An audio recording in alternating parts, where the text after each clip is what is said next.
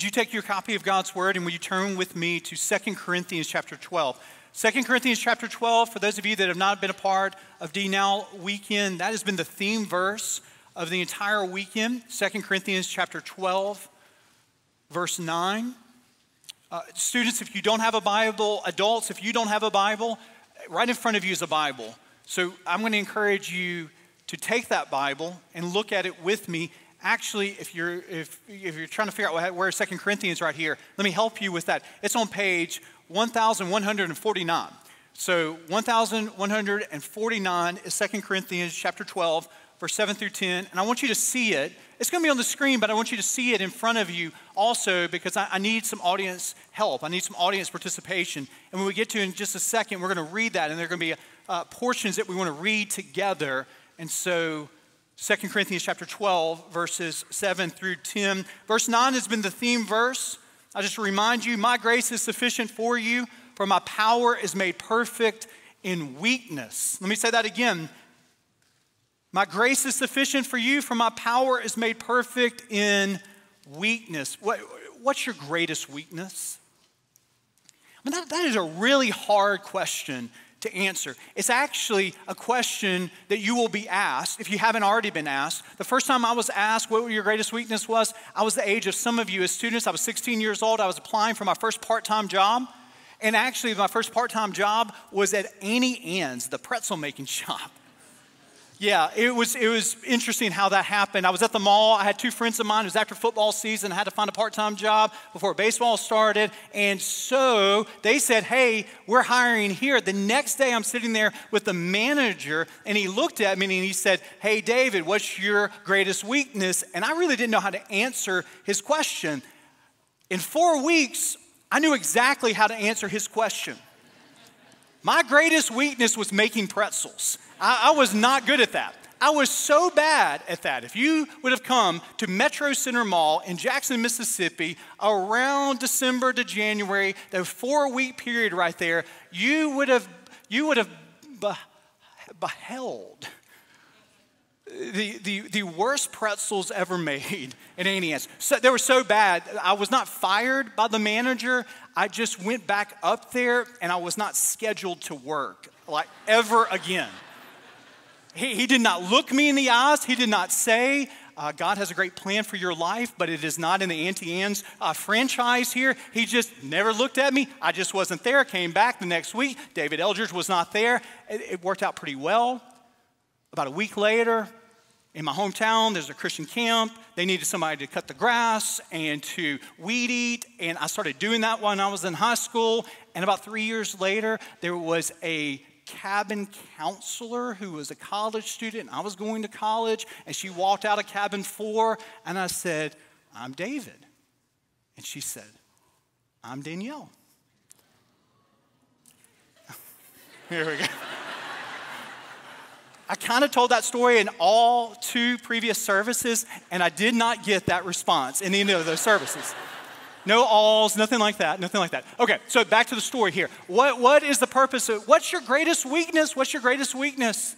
So you're going to be asked that. Graduate school applications, college applications, work part time. Somebody's going to ask you, what's your greatest weakness?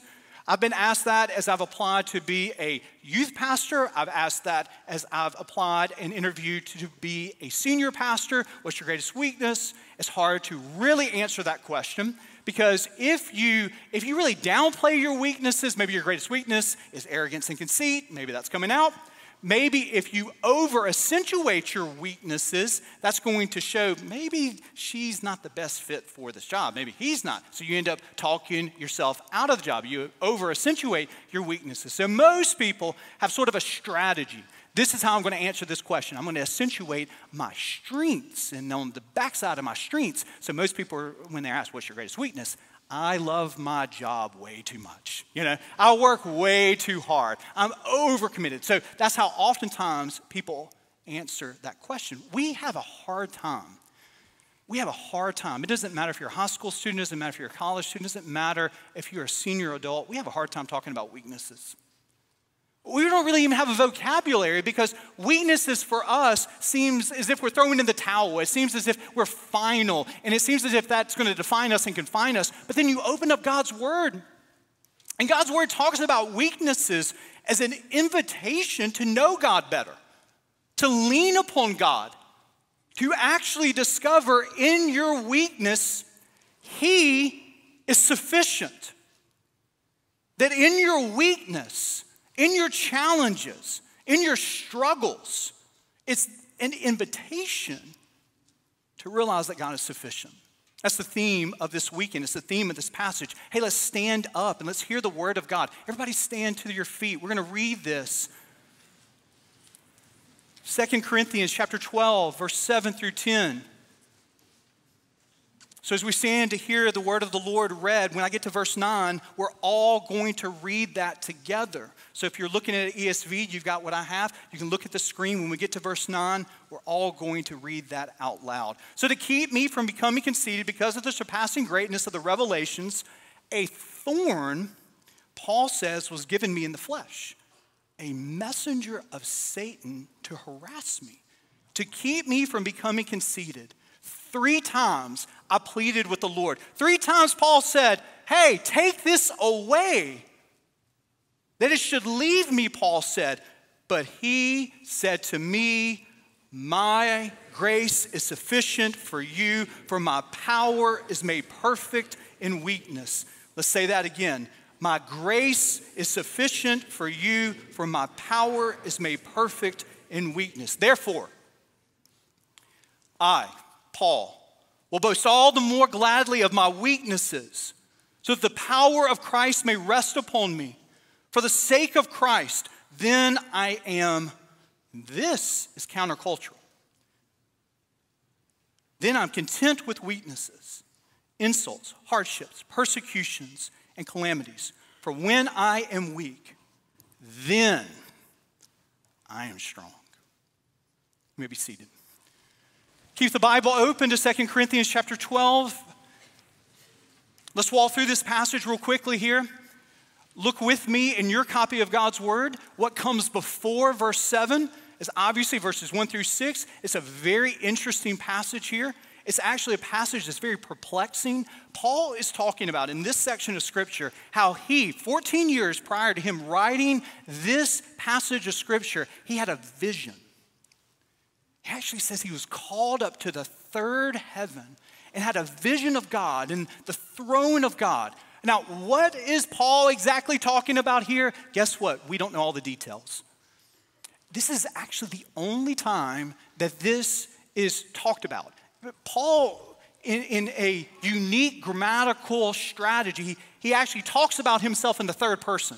So he's distancing himself and the reason that he is doing this is because in Corinth, you have all of these people that are walking around saying, I'm a teacher of God. I'm a teacher of God. And they're using the gospel to make a name for themselves. They're using the gospel to make money for themselves. And their credentials, the way that they prove, hey, listen to me, listen to me, is in Corinth, they were going around and they were saying, I had this amazing revelation. I had this amazing vision. then somebody else says, Well, I want to top you. I had even a greater revelation. I had even a greater vision. And then somebody else comes around and says, Hey, no, no, follow me. I had this great revelation. And Paul says, Hold on. 14 years ago, what I experienced makes all of your stories here pale in comparison, but I'm not.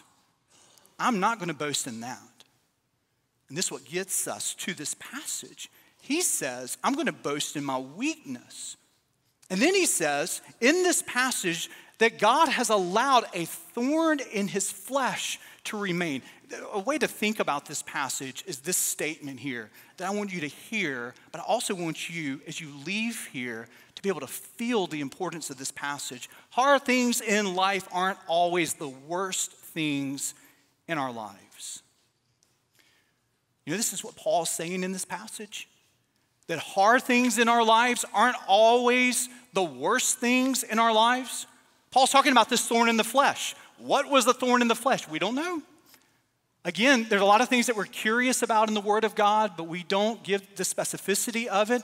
There are a lot of things that we wish we knew, but we don't know, but we don't need to know. God gives us what we need to know in the Word of God. But the thorn in the flesh, the flesh is actually your skin here, So, Paul is most likely talking about something that's not just an inconvenience. He's not just talking about an annoyance. He is talking about something that's chronic. He is talking about something that he cannot shake, that has probably followed him for months and most likely years of his lives. So, scholars and preachers, they read this passage and they say, maybe it was epilepsy.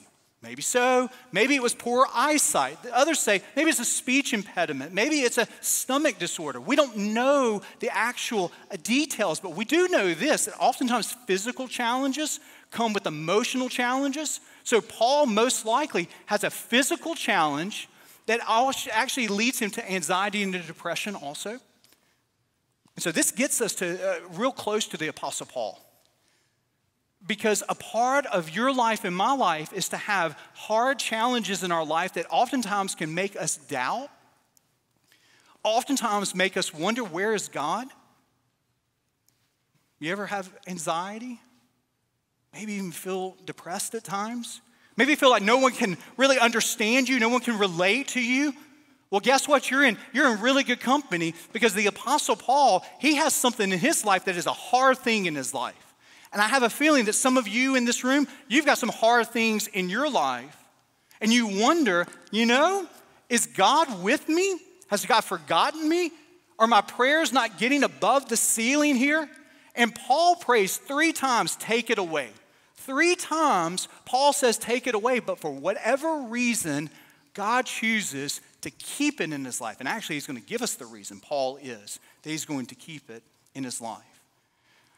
The Bible teaches us that God hears all of our prayers, but He doesn't always answer our prayers as we want Him to do from our earthly standpoint. He hears all of our prayers.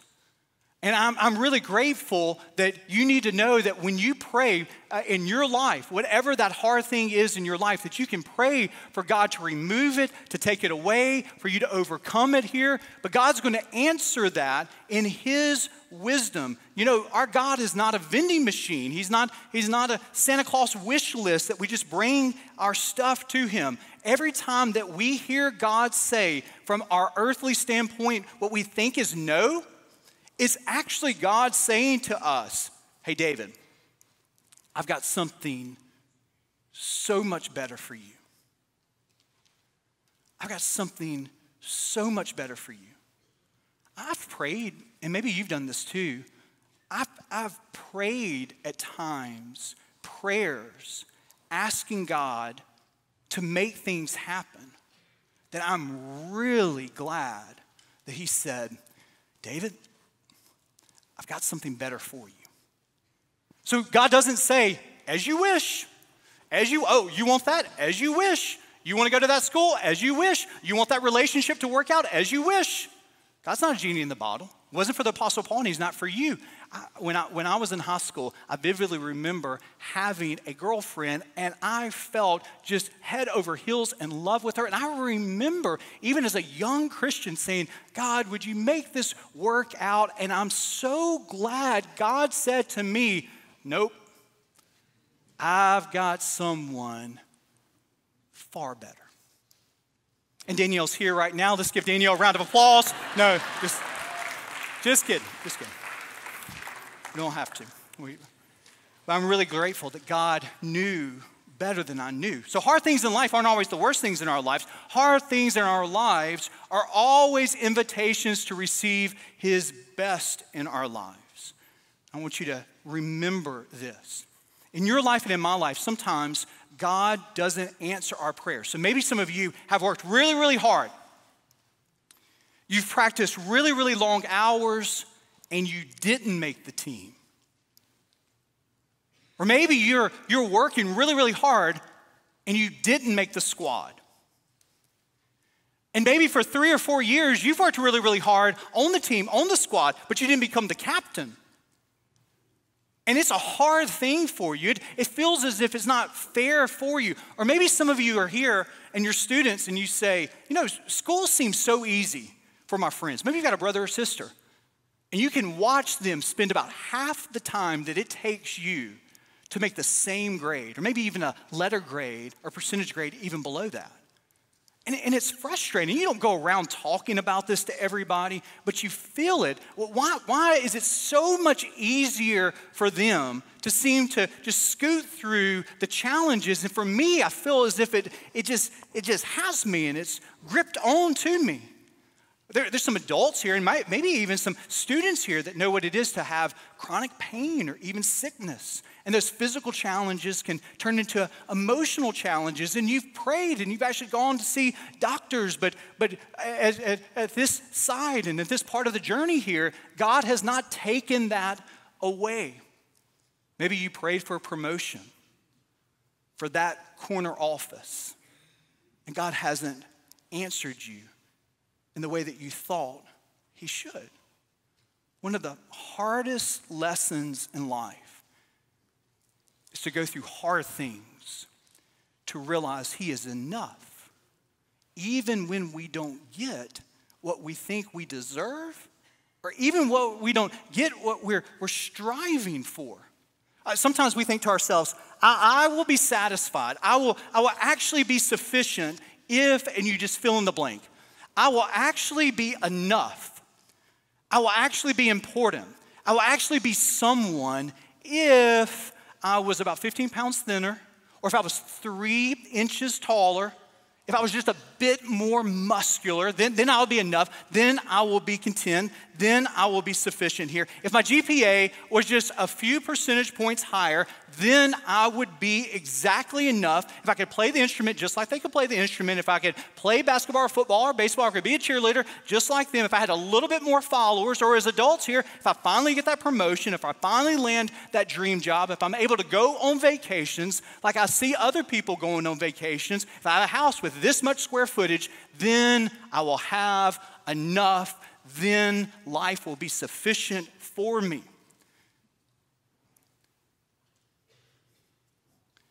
Can, can I tell you a secret?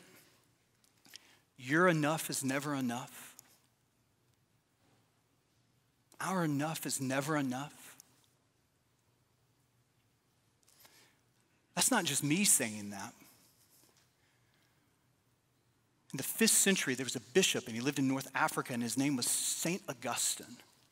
And in what was the first biography really ever published in what was called the Confessions, he has this piercing line Our hearts are restless until they find their rest in thee that we're always searching for more and more and will never be satisfied. We'll never find sufficiency until we find our identity in Christ.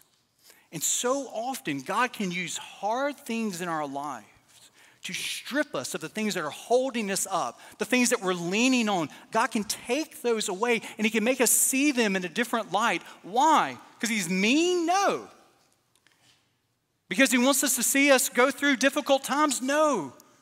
He allows these hard things in our lives so we can see that his grace is sufficient, his strength is enough for you to lean upon him and to know him. If you've been a part of D Now Weekend, and I know not everyone has been, but these students have seen three videos that to me have been really the highlight of, of, of, the worship has been amazing through music. The preaching has been amazing. It's been a fun time. But as I've seen these videos, these videos have, have stuck with me. And there's been a common theme. Maddie Hunsberger, she talked about Friday night in her video. She's a wonderful swimmer, and swimming was something that, that she found a lot of success in, but it was an injury and rehabbing out of that injury and not being able to, to do swimming as she had before, that God actually used that. And it was a difficult time. But God actually used that to show her I'm enough for you. Mac and Bryce Harton's video was Saturday morning, and getting to see them as brothers. It's fun to be able to see how they share this testimony of friend groups that change because that happens in high school, that happens in middle school. Your friend groups begin to change. and what's really comfortable for you begins to, to shift a little bit. And Mac was talking about in that very video how, how God, in the midst of those hard circumstances, begins to show hey, I am sufficient. I'm enough for you. Bryce even used this wonderful passage in Philippians chapter 1 where he talks about Paul being in prison and how God was glorified. I mean, the strangest way to talk about this Paul's in prison, one of the worst places that you could be. This is a hard place. But how God was using even that imprisonment for the gospel to go out. And Sam Sutton yesterday, the last video right there, Sam, thanks for that video.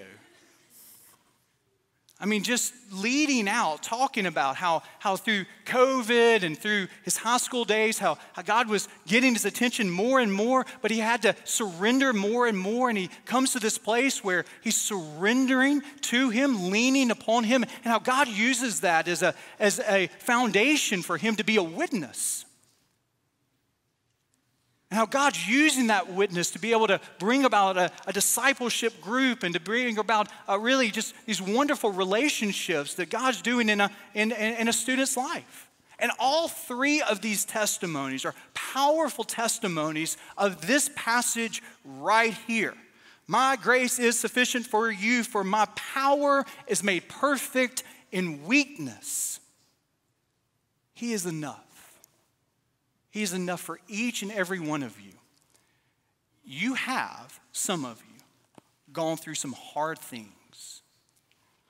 All of us in this sanctuary will go through some hard experiences. We're going to have some thorn in the flesh experiences in our life. And we're going to come to God and say, God, take this from me, remove this. And God's going to say, I've got something better in mind. I'm going to use this hard experience in your life. I'm going to use this disappointment. I'm going to use you putting your identity in this person, and this relationship, and this opportunity, and this school, and this promotion, and this job. And I'm going to get your attention. And I'm going to use this hard experience to shape you and to mold you. And I'm going to build in you some spiritual muscles. And through the hard things, you're going to learn what it means to depend upon me and to lean not on your own understanding, but in all of your ways to acknowledge Him. And then you begin to see that He's directing your paths. The hard things in life are never easy, but they're not always the worst thing in your life. You know what the worst thing in your life is?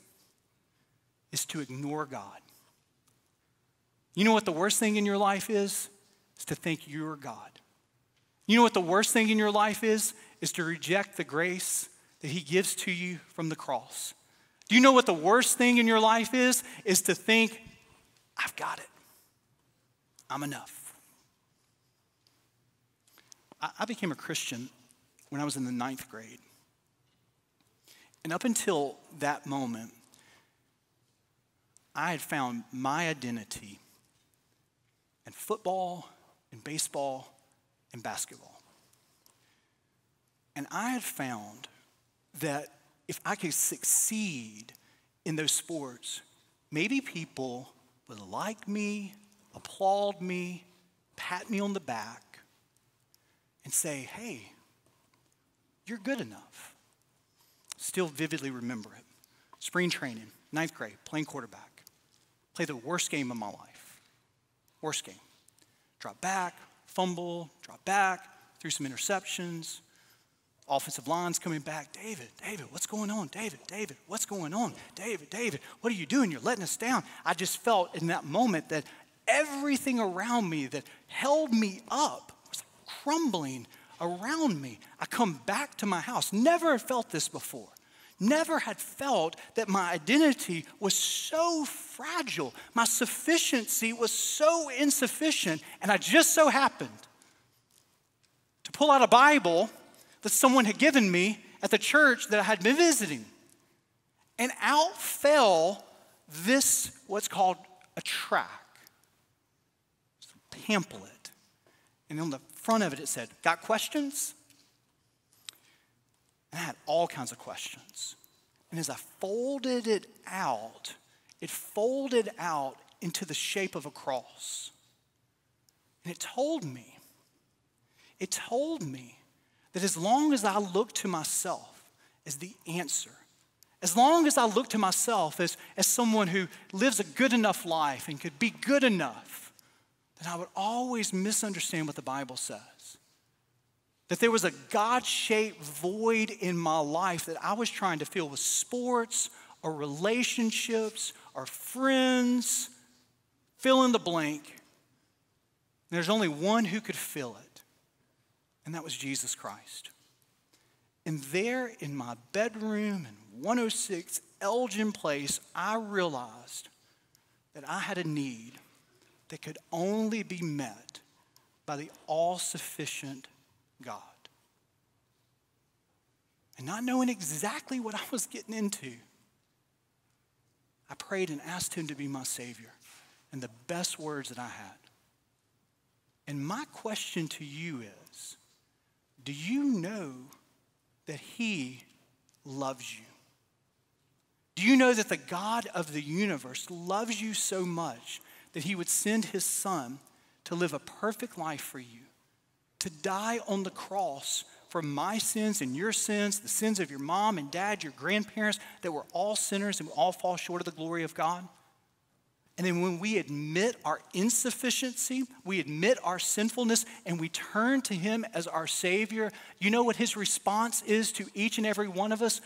Welcome home, my daughter. Welcome home, my son. Have you turned to Him as your Savior? Have you trusted Him as the only one who is all sufficient? Let us pray.